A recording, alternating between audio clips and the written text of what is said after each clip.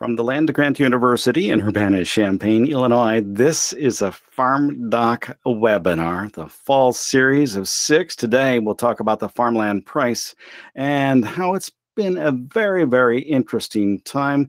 We'll have two presenters, and Gary Schnitkey will be in the background to answer some questions if and when needed. Bruce Sherrick is here. He's a PhD, the director of the TIAA Center for Farmland Research, and uh, the Fruin Professor of Farmland Economics. And Luke Worrell joins us from ALC, uh, from Worrell Land Services. I believe, Luke, that is in Jacksonville, Illinois, or at least in the western part of Illinois. Where are you and what exactly is Worrell Land Services? Yeah, Todd, you uh, great memory. My home office uh, is here in Jacksonville, Illinois, west central part of the state. Um, company uh, specializes in farm management, real estate, and appraisals, and thankful to be a part of uh, of the crew here today. Well, you get to kick us off. Uh, why don't you begin with your first slide, please? Very good. Thanks. Thanks, Todd. And I'll brag a little bit more on Luke. Luke has been an absolute uh, stellar leader in the Illinois Society of Farm Managers and Rural Appraisers as well, and has done an awful lot to advance the uh, state of our understanding about farmland markets in the in the state of Illinois. So thanks, Luke. Appreciate your time. Um, again, a, a, just an absolute great contributor uh, through the Illinois Society and otherwise. Um, today we have a, a, you know, what has probably piqued a lot of people's interest in the last couple of years. Talk about farmland markets still again. I've done this for about 30 years now and would have to admit I've never had as much interest as we have right now partly because we've just come through a two year bull market in farmland values, where in the Midwest, there are parts of Illinois, Indiana, and Iowa that are up well over 30% in absolutely true, well over 30% in value in just a 24 month period. We want to talk about what has led to that. It's it's partly the usual suspects and it's partly new things. It's not quite um, it's not as I think there was an old Buick commercial. It's not your dad's Buick or something like that, but it's not quite the same farmland market we used to have. And on top of that, we have, of course, a set of macro conditions that we've never experienced before, and frankly, hope we never do again. But we want to try to put that in context and say, what is the impact of going from three to six percent interest rates, and what is the impact of having a war in Ukraine, and what is the impact of having a Fed balance sheet that's now more than half the GDP, and what happens when uh, you you print money at a pace that we have, and what happens when you add climate smart ag into the mix of support payments for agriculture. So we're going to put a lot on the table very quickly. Try to do it from a uh, if you're used to using Google Earth, there's sort of wide view and there's close view. We're going to start, you know, at 100,000 feet and talk about a lot of things from a distance and then start zooming in on regions and then start zooming in even further on types of commodity and then zoom all the way into what's a remarkable set of on the ground results from the survey of actual farmland managers in Illinois. Again, um, Luke has been uh, thrust into a leadership role there. Uh, kind of rotates through the society, but they do an incredible job. Only a couple other states in the country do even things remarkably similar, and I I think ours is the best. I'm allowed to be a little parochial there, but we're going to kind of zoom in on that. to start, I want to talk about at a high level first before we treat each of these elements in a bit more detail. What usually gets pointed at.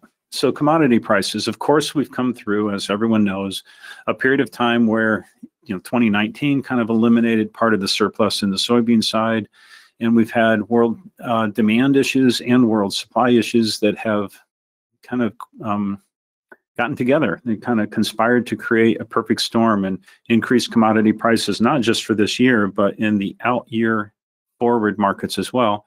And crop insurance prices higher than they had been for quite a long time. So the level of guaranteeable or available revenue much higher.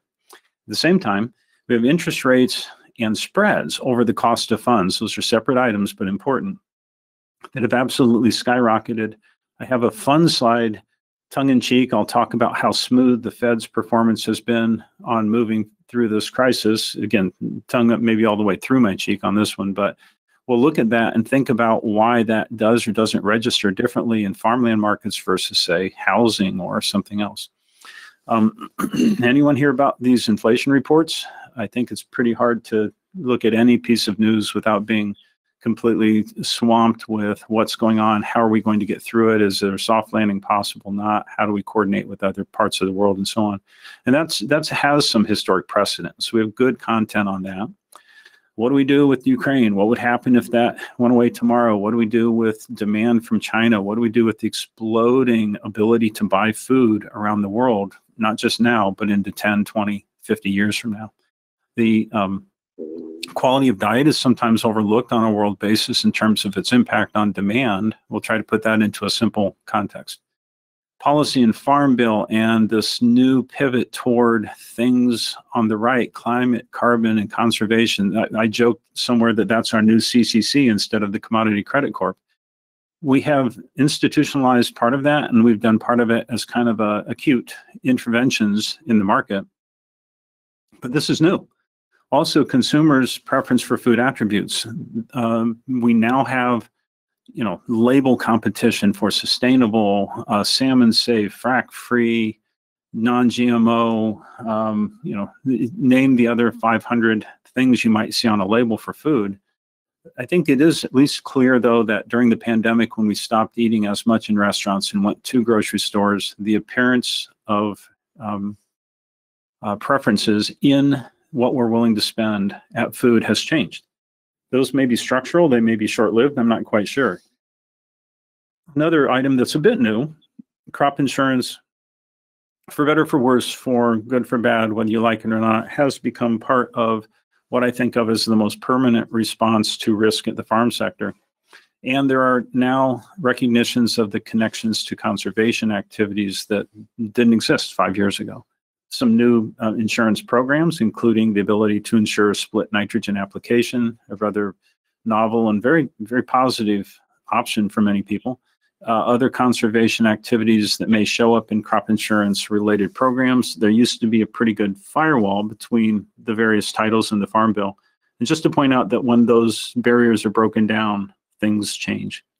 Uh, finally, um, anybody check their 401k this week? Um, looking at what happens relative to other places where money could be stored has always been a consideration. The farmland markets traded in the large were not quite big enough where that really mattered. And again, the rest of the world demand, we'll talk about that as well. So I want to go through these kind of in a slightly different, you know, quick intro way to say what we're going to talk about uh, kind of the brief history of time. We've gone through a period of, you know, from the early 2000s with the ethanol boom, high corn prices, then kind of caught up and went through a long period of time with lower prices. And now we're back to higher prices. And one of the new things is they're ex US drivers for the commodities. Does that drive US asset values or not? It's a really hard question. How does that register long term? That's a hard question. We've also had massive increases in input prices, both literal inflation and supply uh, chain interruption uh, to that uh, side of inputs. That's that's a new thing, I think. And if you want just this graph on the bottom, just borrowed it from somebody.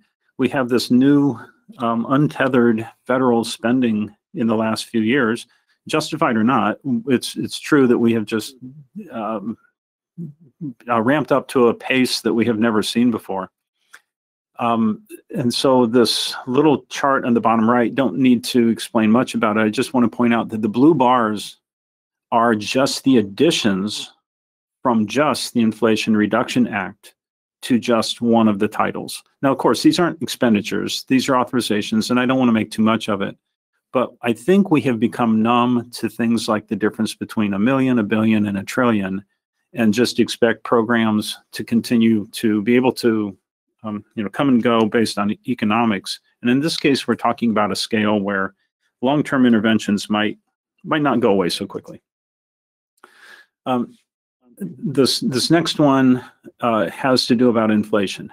Historically agricultural assets have had a very positive inflation response this happened, though, when the money supply was not done in the same way that has been managed this time around. I'll talk more about it later, but uh, Gary's sitting uh, directly to my left. If I gave Gary $100 out of my pocket and said, you had to pay this back, we now have a $100 loan registered in our you know, microeconomy system of accounts, but we didn't change the amount of money if instead I, I, you know, and we lend money to banks when we deposit money in banks. And so that's fine. And we don't change it by how we create borrowing and lending uh, relationships. And that's what the Federal Reserve, in a sense, does with the uh, participation of the Treasury. But if I'm a bank and I have that $100 that I lent to somebody via the bank, and I said, you know what, my own CD rates are so high, I think I'm going to make up money. I'm going to pretend I have money on demand, on deposit, and lend it out in a sense, we've we've put so much of the balance of the printed money on the Fed's balance sheet that it does change the system and the quantity of money available to buy things. And we have to work our way through that quantity theory of inflation at minimum. And then as wages got stuck at higher levels, we'll have to work through that as well. Um, so I'm going to kind of jump forward a little bit here um, and say interest rates and cap rates and income multiples. This is a complicated thing, but historically, we can think of farmland as the income it produces through time. That income is both in the form of current cash income. If you bought a farm and rented it, you'd get the cash income, but it's also the appreciation. The expectation that its value is going to go up at four or five percent a year, or six or seven, or three or two. And we want to think about how we're buying appreciation because, and a couple of the questions submitted in advance were great. What do we do with a, an asset that only generates a 3% rate of cash return, but interest rates are now six? That's a great question. We'll talk a little bit more about that too, but think about it this way. If I borrowed a million dollars at 3% on 30 year fixed rate money, my annual payments would be around 51,000. If interest rates go to 6%, that same payment will only uh, support a $702,000 loan now. So, or the payments would have to go up by 40% to to support that same degree of financing. Now, debt is not the only uh, source of capital under farmland, so we have to think about when interest rates go up and cap rates go up and income multiples go up that we can't use the same old model of taking cash rent and dividing it by the 10% or 10 year treasury rate. So, real quick, some level setting. This is the uh, USDA mid-year estimate of price change around the country, and I'll have a little bit more regional stuff in just a second. But the two-year numbers, um, again, this is just USDA, and this is all farms. So to be blunt, these are a little bit muted. We have numbers on this chart that don't represent just commercial investment grade farmland, but represent all farmland. So we get parcels that aren't really you know representative to some degree and we also get the results of neighbors fighting for that one parcel that'll never sell again. So relative to what's happened over that whole period against uh, survey of um, auctions at the same uh, pi or csr csr 2 point things we can do in the midwest pretty well the, these numbers are actually a little bit light in my opinion in terms of the total change but they're remarkable USDA has a lot of other sources we can look at. A great resource, uh, Dave Oppedahl at Chicago Fed publishes the Ag Letter. It's become an absolute um, uh, baseline thing that we have to look at to understand, and it's a great survey. Uh, corroborating information, very, very similar. Um, again, this if you don't subscribe to that, I encourage you to. And then uh, probably the most um, well-informed institution, Farm Credit, has a survey and a set of things they do to benchmark against a standard set of farms through time. Again, highly corroborating information. Thanks to Kent and others in Farm Credit for also participating in the society information and, and trying to help keep the market fully informed. But again, this is just unprecedented. We have not had that happen before. These are Illinois and local region. If we put it on a chart, we could also say, hey, well, that bump up maybe was the aberration in 2012 through 2014. Had a big drought in 2012, prices went up. 2013, prices still high. And maybe if we just kind of stretched a curve through that and said what would be the long term appreciation, we wouldn't think that today's prices are actually that remarkable. What we would think about is that we actually took too great of a pause during the period of time where we were artificially keeping interest rates pretty low. If we did this zooming out even further, relative to 1991. So you can just say, how did the regions perform on a relative basis? You know, land in the mountain states doesn't cost as much. Uh, land in the Pacific West doesn't cost as much. Um, but we can kind of see that the areas, the Pac West, Corn Belt, Lake States, Northern Plains, um, a little bit of a puzzle when we get out to the Pac West and the Pacific Northwest. but the same patterns to some extent, except the areas that have been brought more into intense production had a higher increase, and areas like the Northeast and Southeast that have more of the land uh, influenced by residential didn't have the same relative response to agricultural influences for change in value. Uh, puts out a great set of reports. I won't spend any time on this screen because we're about to go through them, but we can look around the region at identically accounted for rates of return with both appreciation and income, and we get the following story. If we look at all property that's in the index, one year rolling total return for, as of the middle of the year, 9.7%. Now, I'd, I'd personally be very happy with a 9.7% total return in my, um, you know, my IRA or my retirement hopes. Um, haven't had that this year for sure. Had more than that a couple times in the pandemic, but the stability of this is really quite remarkable. And one thing that is different is if we look at permanent crops, this last year they're actually below annual crops. Per permanent crops traditionally and in the long run would be expected to have a bit more positive return because of the depreciability of the above ground items. But permanent cropland 3.5, annual cropland nationally almost 14%. But here's what's remarkable. In the lake states, over 16%. In the Corn Belt, 26%. This is a one year return for actual real farmland in a real funded position, identically accounted for, reported on an unlevered basis. It, these are real numbers.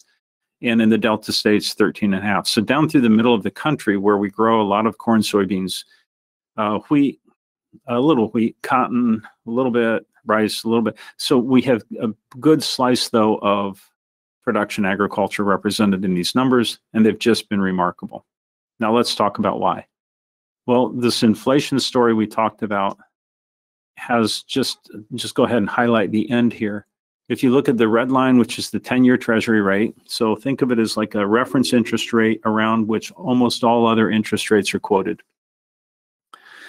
Uh, we think about the 10-year rate and adding to it for longer term, subtracting from it for shorter term, and adding to it for credit risk. Now, again, as you know, probably have heard the two-year rate and the uh, shape of the yield curve have been a little unruly later, uh, lately. So we can kind of look here at the end too. Thanks, Jim, for pointing out that the mouse is actually operational on the screen. Uh, the 10-year rate has um, generally been above the rate of inflation, the blue line, except during periods where we're going through massive economic realignments. So recession in the early 70s, uh, farm recession a little bit, um, 2008 housing crisis where we saw uh, CPI um, somewhat reflexively also uh, shrink. But they've had that general pattern where the treasury rate is above the cost of inflation. So you would have a, um, a positive real rate in that case. And in the last uh, couple of years, we have had this, you know, it's not a very big mystery why we've had this big run up in inflation, frankly, but we've had this big run up in inflation. At the same time, we've artificially held rates fairly low for a long time. You know, only a year ago, you would hear the Fed say it's transitory, it's coming back. The last Jackson Hole meeting, I kind of heard a nice description of this on the financial news on the way in. Uh, the tone of the Fed has has shifted from what do we think to what we're going to do. So the questions are what happens when you get that kind of departure? Because we haven't actually seen it before. The early 70s weren't for the same reasons, and the 80s were basically a farm crisis, not an economy crisis, economy-wide crisis. And this time it's a world event, not just a US event. So can we make any sense out of what's going on there? Well, a couple of things on inflation to pull that apart into pieces. It's not all food. A lot of it has been energy. Energy is embedded into each of these pie slices and the way it's measured here. So agriculture, food, and beverage includes the cost of inflation and packaging, all the things that are summarized in this one particular version of the CPI. But housing also, when interest rates went down, the value of houses went way, way up. The expenditures on housing didn't go up by as much at first, but then kind of did. And now we've caught up. Again, the same features of a 30 rate 30 year interest rate would apply to residential in that it would cost roughly 40% as much for the, more for the same size 30 year loan when rates went from 3 to 6%. So again, this is a it's a big deal, but it's not the only deal. And food and beverage, though, have an element that goes back to the farm. This, in my mind, is the bigger deal. It takes just a second to explain this chart. But back in the housing crisis period, we had this low level of assets on the Fed's balance sheet. And that number went back through to roughly the 1930s. It was almost that same number forever. It's just a flat line. And we didn't know what to do when the housing crisis hit. So we created these things called liquidity facilities, this green line and this purple line here that look very small in retrospect. But at the time, we said, oh my gosh, what happened? The Fed doubled its balance sheet. But what the Fed did is they said, we will be the liquidity facility for people who run out, for banks that run out of money. And we had TARP and TALF and QE1 and QE2 and QE3. And remember, TARP and TALF were touted as unprecedented when they were $700 billion. 700 billion seemed like a lot. Again, in 2008, adding 700 billion, 780 billion, I think actually, was a great big increment on the Fed's balance sheet, and those kind of went away. The green line came back down, the purple line came back down. Blue line is the total. So what else happened though is we started buying actual securities. We started buying the bonds the government was printing and putting them on, storing them in the in the balance sheet of the Fed. And that's gone from you know under 2 billion uh, this is scale in millions so 8 million means 8 trillion on the right because it's times a million this is this is the unprecedented thing this this is what really really happened and if you look at the bottom long-term scaled line what we did during the pandemic was not just add to it, but we added to the rate at which we were adding to it. So we've gone to a point where unwinding that balance sheet, if we ever do, or financing that balance sheet, which we have to do, has a different impact on interest rates than even back in the housing crisis when we went from, you know, under a trillion to over 2 trillion. I want to talk a little bit more specifically about that, use a couple of my common slides to do it. But first, we're going to ask you to tell us what the answer is. So, just as a as a way of getting a sense of the audience's belief, do you expect inflation for the next two years to be above six, average four to six, two to four, zero to two, or negative? Now, if we'd asked this question a year ago, which we did, and we've recorded it, we wouldn't have even included the top category of exceed six. But take a second, go ahead and click on your answer prove that you're still online and haven't bored you completely to uh, a stupor yet. Yeah, and Bruce, while, while they're answering that, I'll remind folks that we do have some sponsors that help out with our webinars, and we like to thank them on occasion. They include uh, your uh, group, the TIAA Center for Farmland Research, Compeer Financial, Corteva Agriculture, Farm Credit Illinois, FS Growmark, the Illinois Corn Growers Association, and the Illinois Soybean Association. I see that I only have 77% of the crew that has voted now. So that's a big number. What did they say? Well, 66% think it'll be in that category of 4 to 6%, 13% think 2 to 4, 20% think over 6%. We have zero people who think that we could hit such a bad space of economic activity that we actually had deflation. Well, it's, a, it's still a distinct possibility that we hit a a depression style recessionary event, but I'm glad to see that there aren't people who actually expected that. So here's the answer. So, so the, one of the great questions that was submitted in advance was, what do we do with the farmland market that we used to be comfortable getting a 3% return on because treasury yields were zero or effectively zero. Now we get a 3% cash return and interest rates are three to six or even CD rates I've seen as high as 3.7. So the answer is I don't know. But here's what I do know that historically markets aren't um, mar- markets work pretty well. That we have a total return, including the appreciation. So if I'm going to get a three percent cash return, I might expect a higher rate of appreciation, part of which we've just gotten. Right? We just got a 30% increase in two years or 15% a year roughly.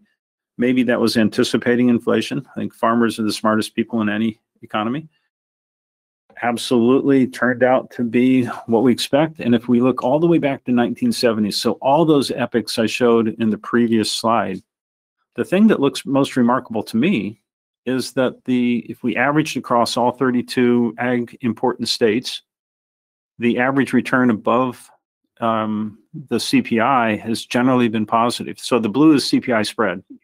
So in the 80s, when it goes below the zero line, that is a negative.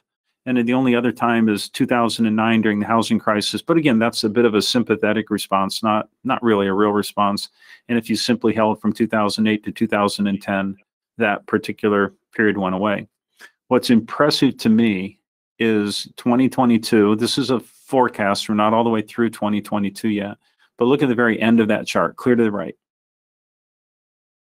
it appears to me that the difference that the ag community, owners of agricultural assets, and people who are willing to buy or sell expect that that relationship will continue and expect that inflation will continue to be fairly high.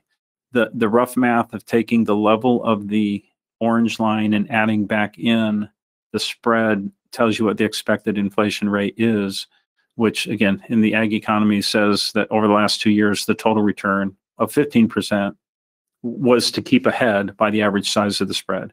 The average size of the spread by decade is given in the little inserted table uh, down below. Um, won't spend more time on that because we do have a lot to get through here, but I, I just find that to be a really remarkably consistent relationship. And again, we know there's a lot of detail here. If you'd like the slides, please download them. Jim's made them available in remarkably convenient form uh, made a lot of them look a whole lot better, and they're available for you at the end of the webinar. And this webinar will be recorded, and the slides are available. So again, something a lot of you have seen before, if you've heard me before, but updated through the end of 20 or through the middle of 2022. Can't do the financials till the end of 2022 because of the way we control for equal variation. But again, looking this slide I put up today primarily for the last two columns in the um, and the S&P again um, minus 50% up 30% in one single year. Same with composite REITs from you know almost lose half the value to almost gain a third. Uh, these are slightly different. S&P you know is it comparable or not without dividends? I, I don't know. I'm not trying to make a specific point here. I'm trying to say that relative to financials farmland returns also tend to be incredibly stable. Coefficient of variation much lower correlation with inflation much higher, and the stability relative to the maximum total decline or total increase is remarkable. So even when farmland goes down, you know, 8% in value in a year, you still got your cash income. Farmland also tends to be held for a really, really, really long time. So it might be important to look at this by different holding periods. Institutional investors lots of times ask for a three year rolling length of holding period return comparison. And so roll three, rolling three means if you held it every three years and um, looked at that, you would find out that the correlation for farmland with the CPI is still 70%. That's not what you get equities in the CPI. It's, it's not what you get with gold in the CPI. And so the, the correlation table here, again, I won't make too much of it. It's available if you want it as a reference. But the longer you hold, the better farmland is as an inflation hedge to a degree and as an offset to equity exposure. So it's a great asset for institutional owners for exactly that reason. Against a mixed asset portfolio, it does exactly what you would hope it would do. Uh, this yield curve picture, again, I've used before. Hope it's not, you know, driving your eyes buggy on the screen, but it's important to interpret the yield curve, each each line on this is, I'll go forward for a second. Each day we could say, what is the yield for um, a treasury position with particular maturity? And we could say that line is, the dotted line is uh, last month. That's the closest to today I could get out of the Fed's data that's verified. But a one year position, about two and a half percent, a two year position, you know, over four actually now, 10 year, just about three and a half as of the 17th and so on if you plotted that through time, way back here in 2004, we had a yield curve that was bouncing along based on economic activity, had a lot of concern about uh, the run up in 06 and 07, Fed trying to manage it. We had some you know responses, and then the housing crisis hit, and we just shut off the market, built this long period of trying to recover. Those little ripples at the front, by the way, correspond with TARP and TALF and all those elements on the Fed's balance sheet if you were to rescale these the same, they, they correspond very closely. And then we kind of say, okay, we're done. we're going to get back into the real world, let the markets take over. We got the here, and then we got to the pandemic and said, "Oh, hang on, we're going to we're going to restart the economy again." Stop. And the Fed had this new plateaued, held down, low interest rates. That you know, one of my regrets is I borrowed a lot of money actually in this period of time, but I wish I borrowed a lot more. Um, didn't buy enough farmland. Wish I had a whole bunch of fixed rate debt right now that I don't have. That may sound like a funny thing to say that I wish I had more debt but it would have been the cheapest debt that I'll experience probably in the rest of my life. And then we said, let's let's restart. We have to get out of this inflationary period that we have built. So how are we going to do it? Well, let's look in context first. These these are lined up in a particular order. The red line that's solid is 2019, the green line is 2020, the orange line is 2021, and the blue line is 2022, January 1, or the closest date. And in a period of only nine months, we've taken it from that orange and blue line to the new red dotted line. And the short end of the yield curve moved up much further than the long end. So it's not like the Fed can just take the whole yield curve and move it up or down. That's an important feature too, because farmland is like that blue line, a 10 year asset, whereas overnight borrowing is something different. And again, this is my tongue in cheek, intended to be a little cynical. Apologize for those who don't like this characterization, but are very careful, smooth, um, you know, completely transparent Fed, of course, manages these interest rates in such a smooth pattern. Or maybe not. This is the history of the Fed discount rate through time. Uh, of course, you do have to respond, and there are like periods of time and moments of time where you do have to respond more quickly. But it, it does appear, frankly, to me to be almost entirely reactionary. If there were rules in place to just say, you know, had we had rules in place that were always the average of all the red dots you see over a, you know, 10 preceding periods can't be more than, you know, quarter percent away from the others, we would have had a much more tra- smooth transition enforced and less of the responsiveness to the announcements on the Wednesdays when the Fed meets. So again, what's going on here is really dramatic. And the 3.25 we're at now for discount rate relative to history, even as recently as 06 and 07, is not really that high of a number. But what is important is the place we came from. In 06 and 07, we came up through, you know, post.com, a fairly predictable increase through 05 and 06 as the economy was heating up, a period of time where things were going bad, housing crisis is that decline, and then a long, slow move up again. What's different this time is we ha- didn't have a long, slow moving up. We just we just did what we did. We're, and that shocks interest rates and it shocks the rates of return we can get to farmland. And most importantly, it shocks the cost of borrowed money.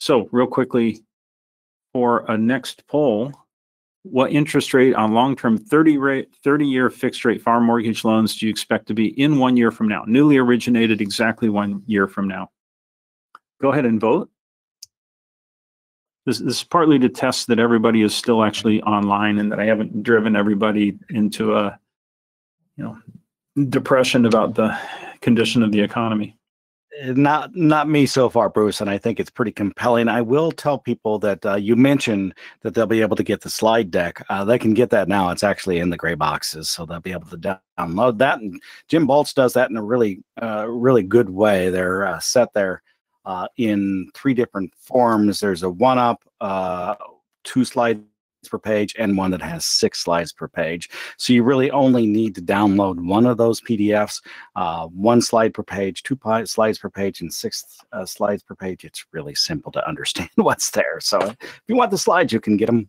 right now. So I'll, I'll uh, get to the uh, last part of, of my presentation quickly here, but the audience believes about 30% believe over seven, about 40% believe between six and seven uh, five and five to six, uh, the hopeful crowd that I'm in, four to five percent, eight percent of you, and under four percent, one percent. There's an interesting thing happening right now, uh, where we are beginning to recognize the re- the relationship between debt and equity is not going to hold in the same way it had historically, where there are some sources of equity now that are competing with the cost of debt. Um, the one element on this one slide Again, can't update it fully to 2022 yet. We have good expectations, but wanted to show you these numbers that it's about 14% debt So to talk about the interest expense at the farm level, one should still remember that on the long-term side, it's not a heavily levered um, portion of the balance sheet. Uh, so where do prices register? This is this is where they register commodity prices and forward commodity prices. This is a long period of projected prices and actual harvest prices from crop insurance. So think of these as the floor prices. The top in each case, corn and soybeans, is the projected or spring price. The bolded number is the actual price that um, was in place for paying most crop insurance policies. And what you see is we're at a high level of volatility and we're at a high level of prices relative to history. But what do we think will really happen in the fall? Well, here's as of yesterday, um, two days ago. Here's here's what the commodity markets believed. So we have a really cool utility at our farmdoc website in the tools section where you can just click on it and it goes out and grabs the market prices and said the option prices imply what people believe about future prices and against the 590 projected price there's only a 10% chance that prices will be below that at expiration. You can lock that in with options too if you wish. So the actual, this is futures price, so local basis still has to be taken out for revenue.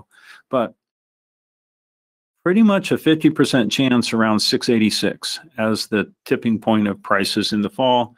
So that's pretty good revenue if we happen to have a 250 bushel yield. That's, we can we can do something with that. Soybeans a little less above on the um, uh, insurance price, but still a fairly positive situation right now. The 50% likelihood of being above 1474 um, or a 30% likelihood of triggering harvest option on the payments from crop insurance. So I'll go to my last little set of items and I'll speed through these to give uh, Luke a little time to talk through the actual local results. But what about the strength of the dollar? We hear that too. And I want to make a really important point about that. The strength of the dollar is not the dollar. There's not a singular article that you can apply ahead of that to make it into a single relationship. If I go back to the 2020, right, the, the vertical line is saying at the moment we sort of shut down the economy for um, uh, the pandemic, 1 6 2020, and said everything was one and then looked at the change in the number of external units of currency to a dollar through that time to now, what you find out is the Brazilian real takes way more real to buy a dollar. Uh, China went down for a while, has come way back up. So the strength of the dollar should be interpreted relative to who we trade with. And we trade a ton with Mexico and Canada and China. China trades a ton with Brazil. The, the math is a little complex, but you can also take the blue line relative to the Chinese line. And since they're both divided by dollars, that gives the uh, real to China exchange rate too. And you can think about how much more or less soybeans cost from Brazil now compared to the US. And what happens here is we have to think about this relative to the trading partner. We're, we do not when we talk about strength of the dollar for consumer goods because we mainly trade with China. So, agricultural commodities are one of the few parts of our economy that we export more than we import. So, we kind of want the opposite sign relative. I want to buy a 60 inch TV for $300, but I want to sell a bushel of corn for $9. Th- those become incompatible if you're selling them both to selling one to China and buying one from China. So, again, just as a, a cautionary tale, uh, good news in some sense, bad news for exporting um, to certain trading partners. So the summary of that, U.S. productivity has not returned. I don't expect it to, but interest rates are really quite high. And the Fed is still stuck with this problem where the stock market still matters and there's still at least some response to indicators that are not only employment and, un- and inflation. Um, ag policy, I don't expect the spending to be fully reined in. And I think the um, payments to things related to climate have to be added to everything we just talked about. But I think the biggest thing that we have to start adding into our thinking is not just how much can I rent my land for next year? Should I buy the parcel that's at auction that's, you know, a little bit of a long distance for me to take my equipment? As a lender, what is my lend in rate? Can I go above 60%? We have to start thinking a little bit longer term in the way farmland is actually being held now and the rest of the world really matters. So Jim's given me the, you know, the frantic speed up sign. I'll do it this way. If we were to look at the population in 2100, and we're pretty good at um, forecasting population, some shocking things occur. Asia, the yellow line, uh, including especially China um, and India, grow and then decline because of the declining pattern of birth rates. But Africa gets healthier, and uh, longevity is compared to is a big driver of consumption because if you live for 70 years instead of 62, it changes your lifetime consumption by quite a lot, more than 10%. And then the amount of money that you can devote to food. But look where United States ranks, and I think it's really impressive to think about what a minor part of the world's population we are, and yet how much of the world's population we're going to be able to feed the quickest version of this is is incomes improve life expectancy goes up as incomes improve demand for calories goes up for two reasons. You you have higher quality calories and you are allowed to spend less of your income on food. So that curve in the bottom right explains the global demand for commodities expected through 2050 so this is why i'm very pro still agricultural assets. I don't i don't know the pattern they'll take. I'm not going to say i'm smarter than any market. I just have some long term, the long term thesis to me is really, really impressive. Now, again, I'll leave this to be, you know, thought about, debated, studied by the audience, or, you know, maybe disagree, but the demand for pork and poultry is not going to shrink. I'll, I'll, go not out on a very um, tenuous limb to say that.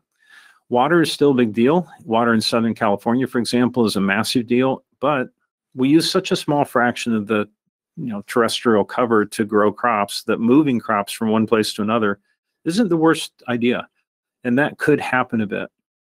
Ethanol demand we have you know i'm not going to get into it today we have some great experts in farmdoc around it but the only demand for corn isn't ethanol and the only demand for ethanol isn't um, to blend into fuel and ev cars are not going to come on so fast that, that the sky is falling and we're also learning that other forms of renewable really favor agricultural production. I'm sort of famous for saying the only real solar collector we've ever invented is the plant, and the only chance you have to sequester carbon involves plants. But that's an important part as well. We're not there yet to know how the sequestering and storing of CO2 is going to change revenue to farmland. It might take 20 years, might take two years. I'm really not sure. I'm pretty confident in the crop insurance part. Um, again, speeding through here, um, the financialization. Um, again, I've been doing this for about 30 years now, and I've been uh, saying we're two years away from having you know agricultural financialization where we can buy and sell farmland really easily. But I've been saying that for 10 years now, so I've been wrong on the speed at which we'll get to that point but we have never seen as much interest. We have a couple of great public vehicles, two publicly traded REITs, a few ETFs, a couple of adjacency ag tech funds, a few um, distributed finance uh, vehicles or crowd-funded. But what didn't happen is we didn't add debt while interest rates were low, and so it's still a hard asset to move from one category to another. Uh, the capital level in farm credit and community banks still exceptionally high. Um, community banks have worked through their excess cash, but the cap capital is really high. So, kind of in my handoff, I'll ask next in my final slide, what do you think farmland values will be in five years? And then we'll turn to the answers from people who actually know. Yeah. So here's what uh, the question says Do you expect farmland values in the next five years to be 25% higher, 10 to 25% higher? Zero to 10% higher decline uh, by zero to 5% or decline by more than 5%. So go ahead and handle, uh, ask, answer that question. Uh, we are about 40 minutes into this and we're moving actually at a pace that I think we can manage to get it all done nearly within an hour. That's uh, based on the number of slides that are left. And Luke Worrell is here. He again is with Worrell Land Services out of Jacksonville. Luke, there are the answers. Half of the folks thinking that uh, in the next five year we'll have an increase of two to five percent, uh, ten to twenty five percent higher uh, for the price of land. This is something you and the uh, uh, folks that you uh, work with, along with the Illinois Society of Professional Farm Managers and Rural Appraisers, think about all the time. Uh, what was your assessment of that particular uh, poll? I, I wish I had more farmland. That's my my assessment of that particular poll.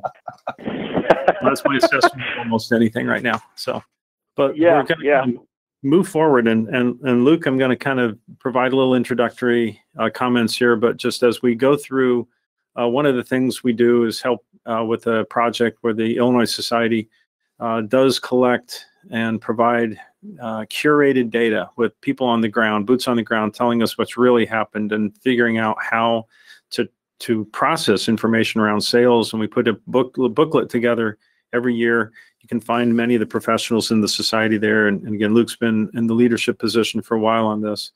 Um, but if you want to find last year's book, you can go to the website.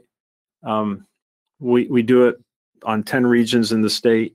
Um, I'm speeding you through to the launch point here, Luke. So uh, Yep, you're you up bet. here, but um, we do this by categories of productivity, and I'll let you go from there. Just tell us when to advance.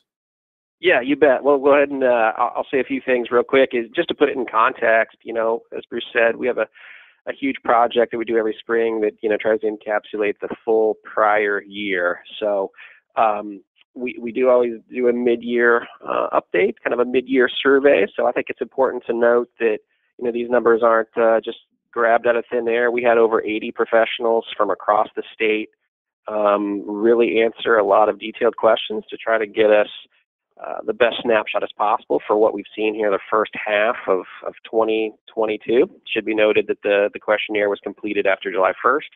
Um, and we certainly are in, it continued to be in, in the middle of uh, a wild time. So also important, everything we look here, let's remember what we just saw last year and some of those wild numbers. So as we get started here, you're looking right here, and again, nothing against regions 8 through 10, just different soil types. So if you see some blanks on these next few slides, it's just simply because those soils don't um, necessarily uh, exist in those regions or those classifications of land uh, aren't transacted enough to really give us a good sample size. But th- the long story short is that we have continued to see exceptional strength in the first half of 2022 you look at these number here, uh, you know, on excellent quality farmland, and let's again, let's remember that last year, over the course of 2021, we were looking at increases of, of 20 to, to 26 percent uh, in these regions. So you look you look at that together, and, and quite honestly, we have seen around a 40 percent increase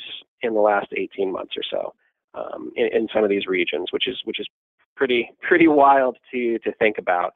You guys know which regions you're in. Uh, so we'll we'll keep we'll keep moving. Uh, next slide, please. You know, one thing that was interested uh, or interesting to me is I was curious if you know lesser quality, lesser classifications of, farmland were gonna were gonna kind of keep pace, or was the gap between Class A and you know B and C gonna gonna grow? And and quite simply, the answer is these guys are are, are running right beside Class A. I mean, even the regions that I specifically work in, you look at regions three, six, and seven. I mean, class class B or, or good quality farmland has seen even higher increases in the first half of this year uh, than the high quality land did, which was which was incredibly interesting. Um, and even going further to the next slide, um, you go down another classification, and you're still seeing huge numbers. And here too, it's important to notice that now we're starting to incorporate more regions as well. So this is not this is not a one-off. This is not a, a certain corner of Illinois. This is not a certain type of land. We are seeing continued strength, robust strength throughout the entire state and throughout all classifications. Um, let's go ahead and go to the next one. Uh, and again, so you know, here we don't have as much data just solely based on on soil types throughout the state. But again, broken record. Uh, don't mean to repeat myself. Again, you're continuing to see anywhere from you know 15 to 17 percent, even on fair quality land. So everything everything is seems to be moving forward. Um, let's go ahead and go to the next one. I apologize if I'm speaking quickly. I'm trying to uh, get get through as much as I can and hopefully allow time for questions. Um, this was an interesting one to me, um, and I'll have a few extra caveats here. So when this was completed, this survey, you know, with with 80 plus professionals, 56% feel that we likely had, you know, stay the same or let's say plateaued. Uh, the, the rest were were kind of split. Some thought, hey, surely we're we're going to start to see some softening, even if it is mild, and others thought we we had we had room to run. You know, as we sit here now on September 22nd, we are kind of on the cusp of, of what we consider to be, you know, uh, sales season. You know, typically we see transactional history pick up, you know, October through February. Now, now what I can say, and uh, with the caveat, is I can only speak for for my neck of the woods here in West Central Illinois, but it's a small sample size. But the sales we have seen have certainly shown that we have, at the very least, stayed the same, if not continue to increase just a little. So I think the next four to six weeks, when you you know you pick up any publication and you see a ton of auctions, farms for sale, I think the next you know six to eight weeks is really going to tell us a lot about where we're heading, not only through the end of this year, uh, but into to 2023 as well. Um, you know, granted, with the the ability of hindsight, um, I I would see us actually probably continuing to add some strength. Um, and, and, certainly, I don't foresee any decreases uh, in in the next couple of months. Um, let's go ahead and move forward. Luke, on on your own uh, business, yeah. are you seeing as many, more or less, about the same volume? Not just price level, but what's your like auction and listing count? Yeah, no, that's that's a great question. If anything, I think we're you know we're starting to see more volume earlier than usual. Um, you know, we even we even had some high quality farmland auctions in in, in August, which historically is mm-hmm. pretty quiet. You know, you don't you don't you don't see a lot pop off until uh, you know you get into harvest. But uh, you know, my neck of the woods, it's been incredibly active. I have colleagues across the state; they seem to to echo uh, my thoughts on that too. So I think I think we're getting a little bit of a head start uh, on transactions this fall.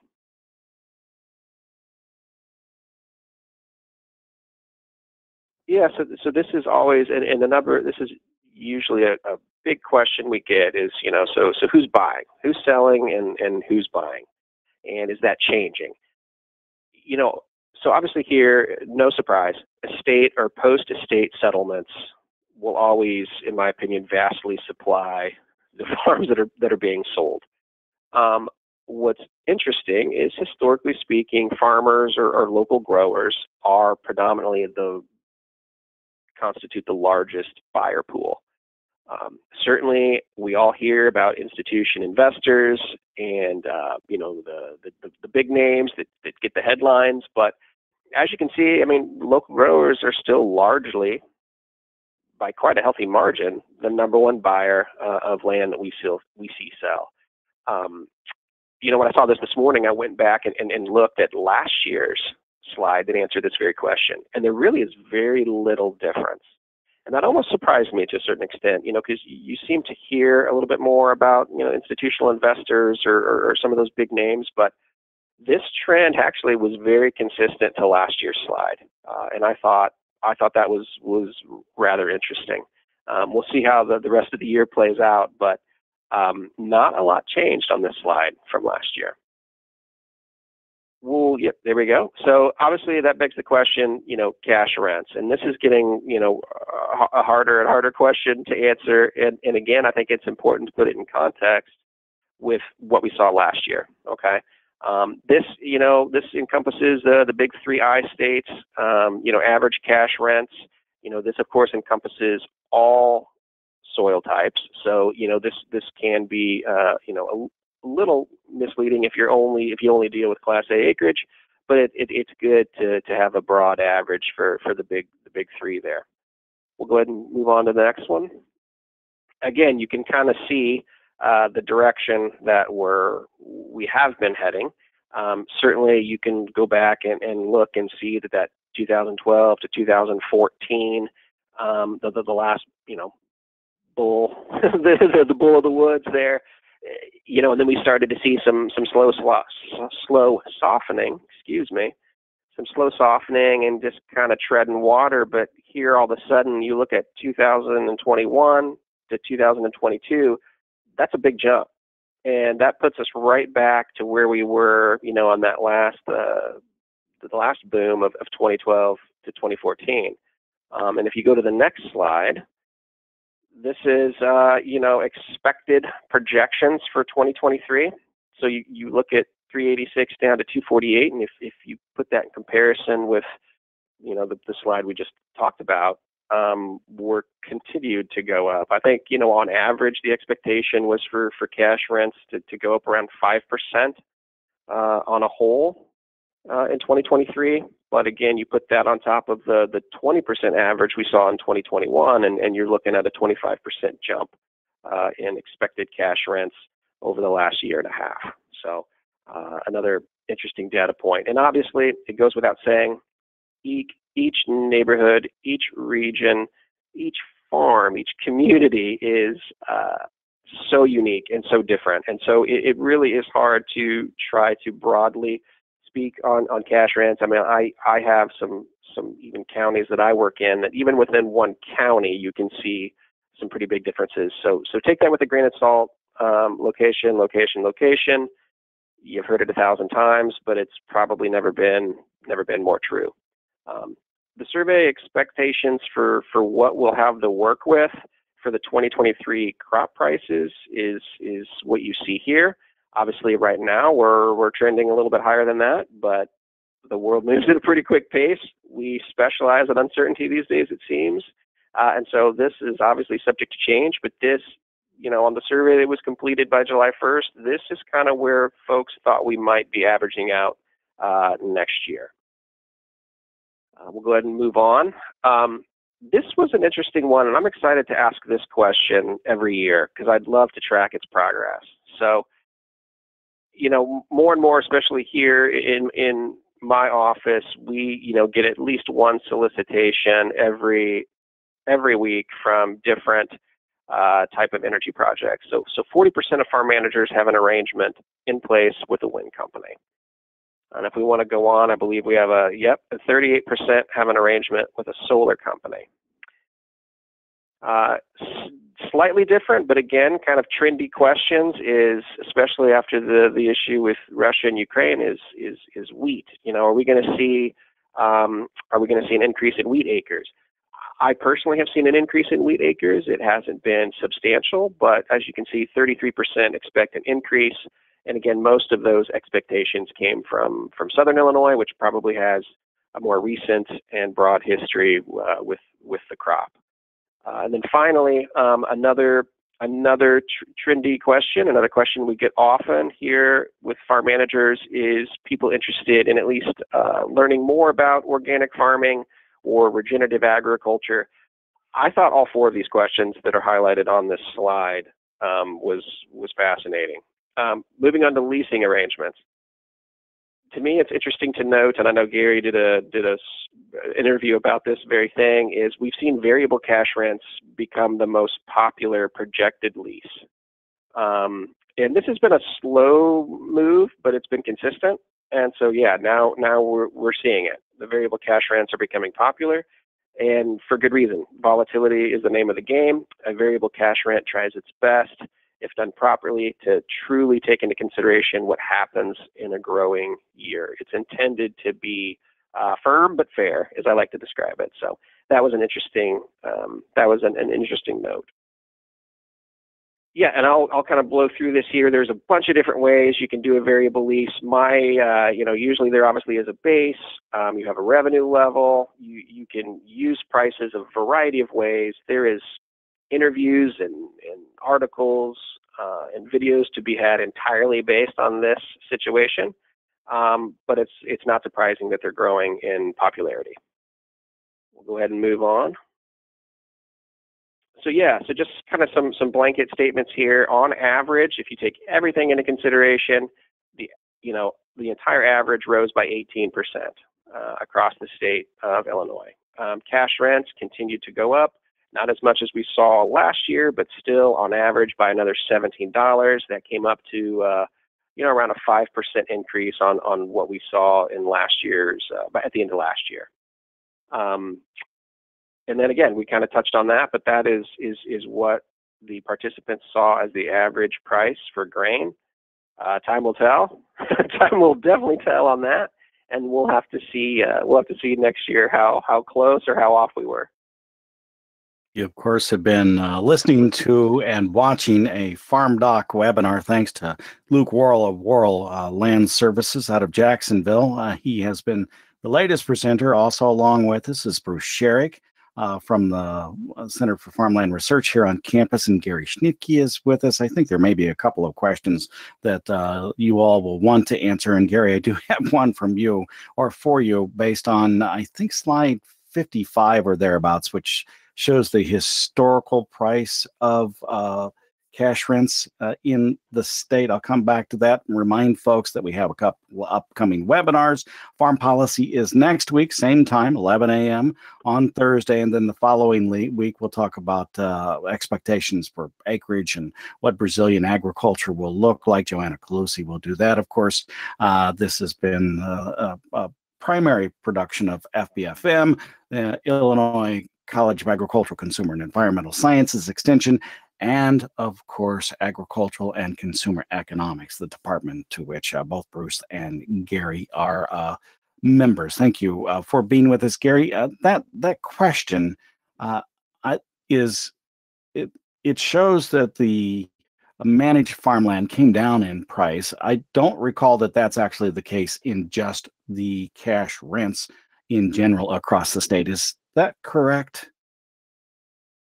There was there was one category where it did come down a little bit from what in good quality from 2020 to 2021, uh, or there was a couple, and that's just the way things work. so, yep, that's what the data said, and we reported as such. Um, yeah, yeah.